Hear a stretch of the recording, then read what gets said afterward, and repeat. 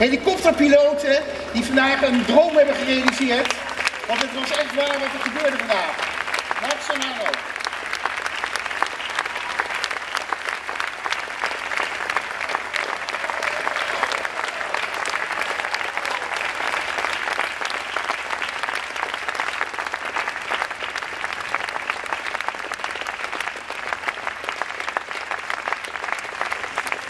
Dames en heren, dank voor Misschien gewoon niet. Tot ziens. Ja, ja. Wonderful. Ja, ga maar.